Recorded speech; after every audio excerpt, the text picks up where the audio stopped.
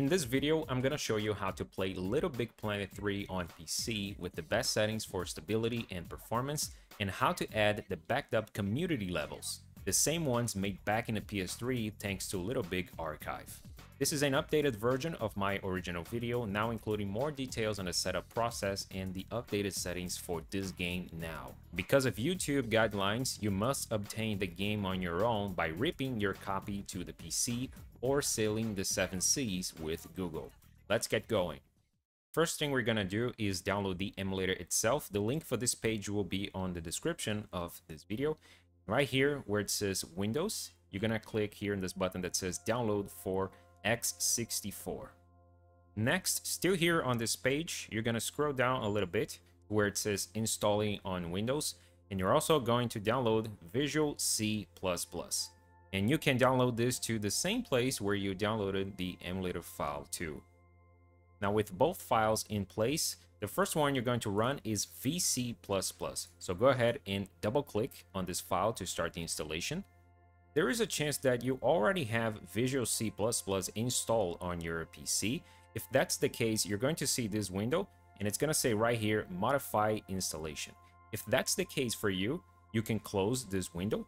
But if not, you're going to keep clicking where it says next, somewhere around here, and then proceed with the installation of this. And once it's done, you can close.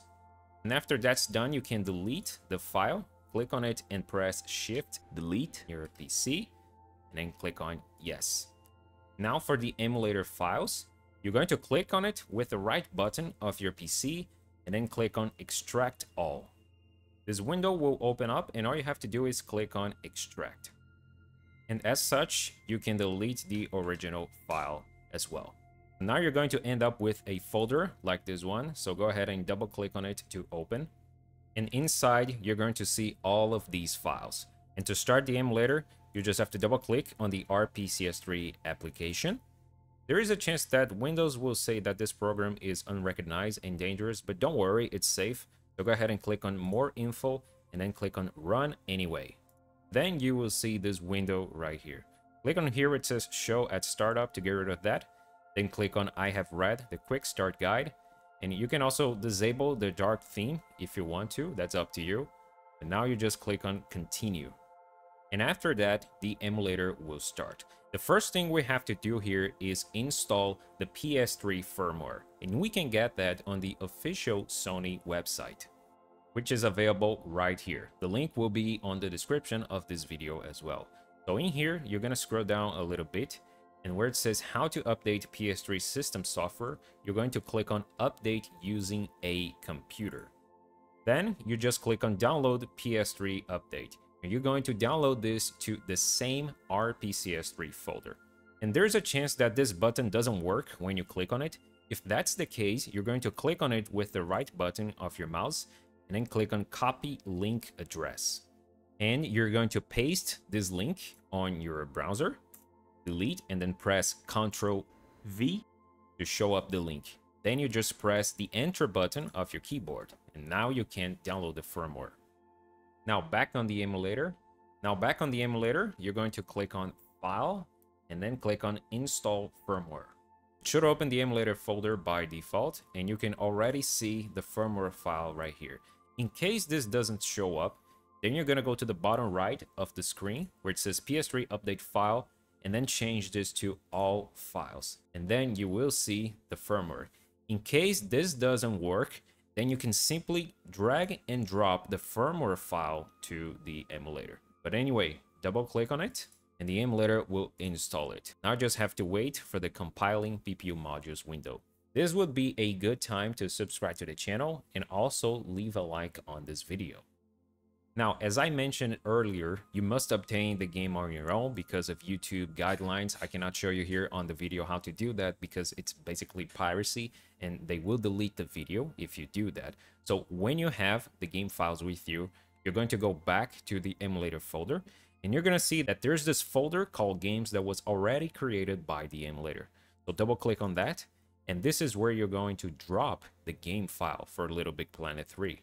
And depending where you got yours, there is a chance that it will be a ISO disk image file like this one. The emulator cannot read this file as it is, so we have to mount this ISO. And you can do this by extracting or you can mount it, which is what I'm gonna do here. So right click on it and select the mount option. And then you should have these files right here with you. Now what you're gonna do is select everything on it, press and hold the left button on your mouse, and then right click, select copy. Now you're going to go back to the games folder of RPCS3 and you can simply paste these files right here and it will work. But what I'm gonna do here is right click anywhere on this folder, select new, and then click on folder. And you can name this whatever you want. I'm just gonna call it LBP3. Now, double click on this folder, and then you're going to paste the files in here. This is just for keeping things organized so that you know where the game files are for later. With the files in place, you're going to go back to the emulator and just click on this refresh button and the game will appear. You can also restart the emulator as well. That works too. So if you see your game in here, then everything is working fine. You can delete the original ISO. But before deleting it, you have to eject the DVD drive of it. You can find it on the corner of your Windows Explorer. It's probably going to show up as 2, so it doesn't matter which one you click. So just click on it with the right button and then click on eject. And go ahead and delete the original ISO. Now, you can see that the emulator will tell you that there is a update available for this game. And these are the same updates that the game had back on the PS3. So as such, it is very important that you update your game here on the emulator as well to get better performance and stability. And one way to grab the updates is by using this program called Rusty PSN. I'll put the link of this page on the description of the video as well. You're going to check whatever is the latest update available. Then you're going to click here on Assets and the file you're going to download for Windows is this one, rusty psn windows.zip. You can download this to anywhere on your PC, but I'm just going to download it to the same emulator folder just to keep things organized.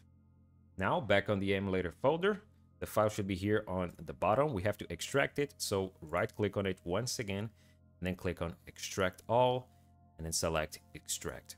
You can delete the original file now, and you're going to locate the Rusty PSN folder. There's only one single file inside it that is Rusty PSN itself. Double click on it to start. Now in here, the first thing you're going to do is click on this little gear right here so that we can change the download location of the patches. In this settings window, click on pick folder. It should open the emulator folder by default. If not, you can select anywhere on your PC.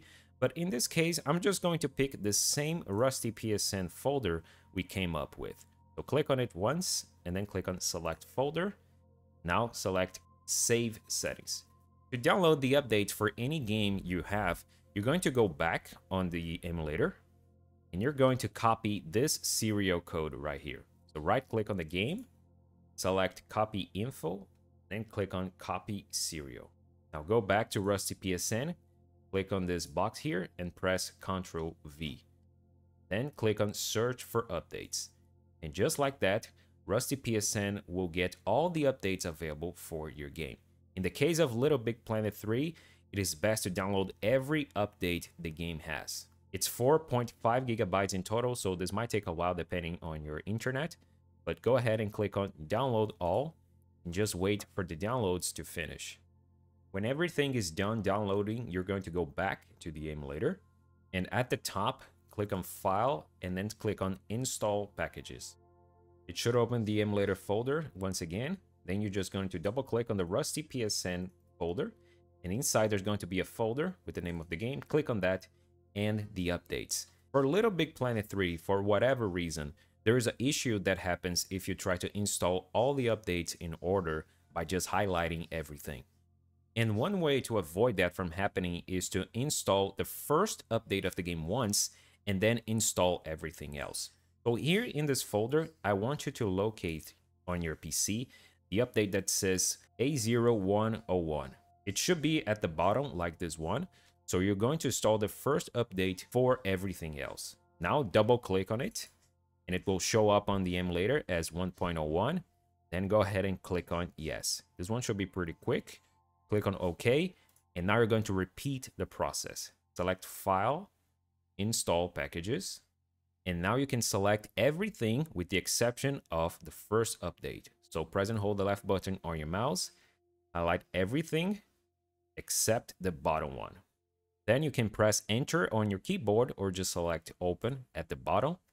And there you go. All the updates should be in order by now and they have to be in order for it to work. And then you just click on install. This one should take a little longer, but don't worry. The emulator will tell you that the game is on version 1.26.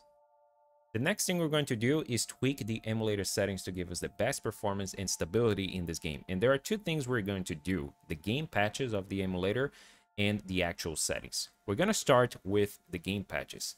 And to go there, you're going to right click the game and select this option, manage game patches. When you click on it for the first time, it's going to tell you that there are new patches available. Go ahead and click on yes. And like that, the name of the game will appear.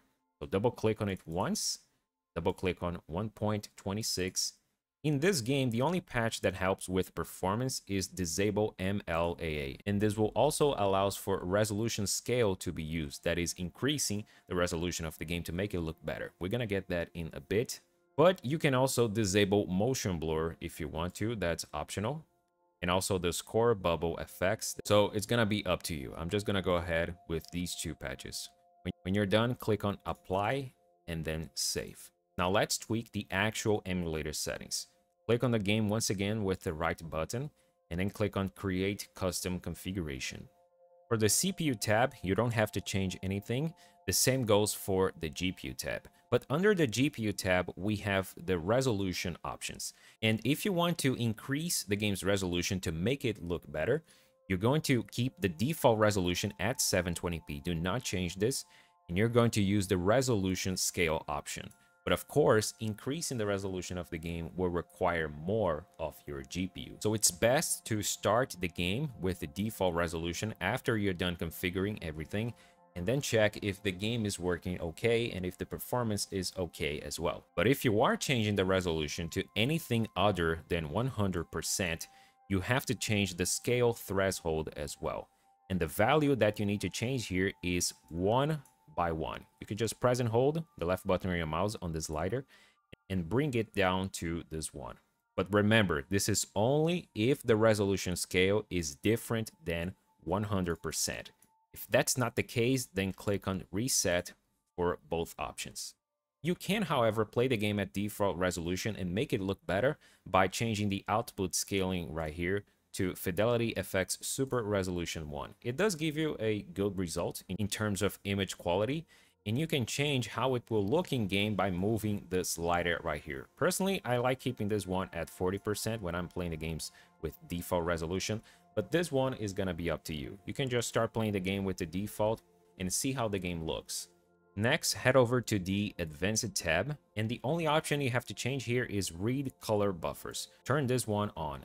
Also, this is optional, but I also like going here to the Emulator tab and disable the Show Shader Compilation Hint option. Because this is something that the emulator will do constantly, and every time it's doing that, you're gonna get a notification on the bottom left side of the screen. So it can be annoying. I just like turning this one off. That's it for the settings. When you're done, click on Apply and then save custom configuration. For adding the backed up community levels of the PS3 version of the game, the website is this one, a Little Big Archive. The link will be on the description. And in here, the first thing you're gonna do is click here where it says main games, select Little Big Planet 3. And under the downloads, the first option, community level packs. All you have to do is just click on the download button. And I'm gonna recommend you to download this to the emulator folder. When it's done downloading, go back to the emulator folder and the file should be at the bottom. This is a zip one, so right click on it, select extract all, and extract once again. When it's done, you can delete the original file as always. And now we have to move the levels to a specific folder on the emulator, so just follow me here on how to do this. Double click on the levels archive folder we got. There'll be another folder inside because of how we extracted it.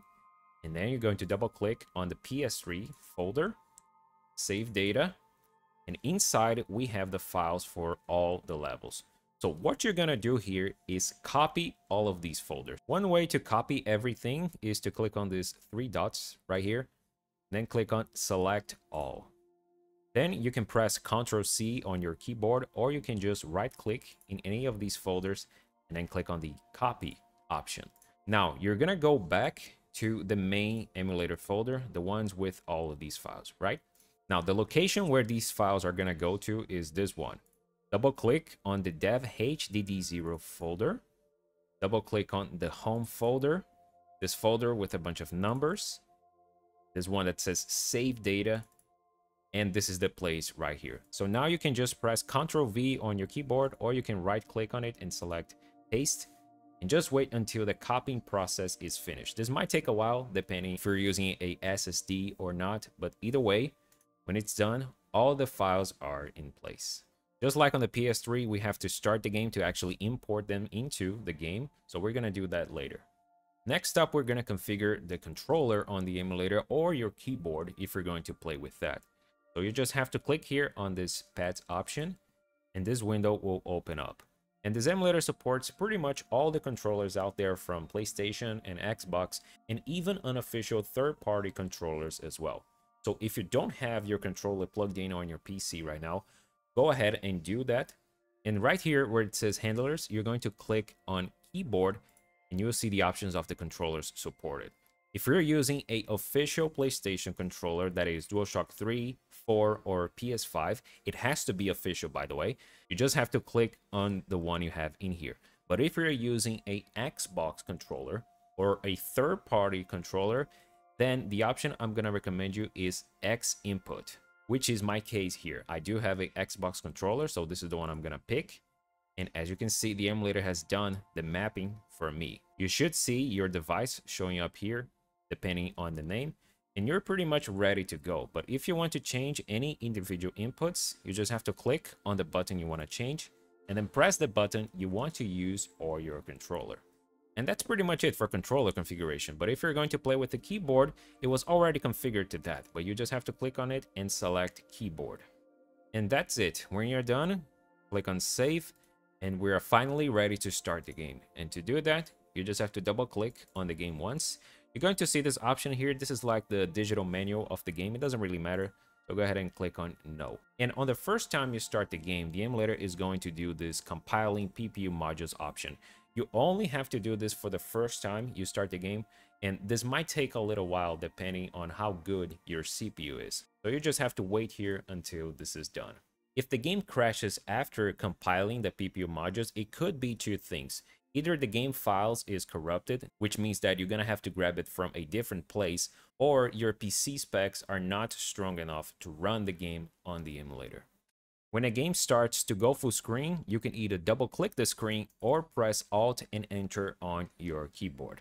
For this game specifically, you have to configure the display size right here. So don't forget to actually fit this one to the monitor of your PC, otherwise you're gonna get black sidebars. For importing the community levels we got, the process is the same as in the PS3. In the game's menu, click on Pod Computer, select Create, My Moon, and then you just select any of these pods, click on More, and then choose the Import option. And just like that, you will see all the community levels we backed up. So just pick the one you want to play and select Yes. There is a good chance, however, that on the first time you try to play the level, it will give you a arrow and that is normal. Usually on the second try it works, but if not, you just keep on retrying until it goes through like this one here. I'm just gonna gonna try this one again and see if it goes through. And there you go. It worked this time. I have many other tutorial videos like this on the channel, so if you like what you saw, don't forget to check out my other stuff, subscribe to the channel, and also leave a like on this video if you haven't already. Thank you for watching, and as always, I'll see you soon.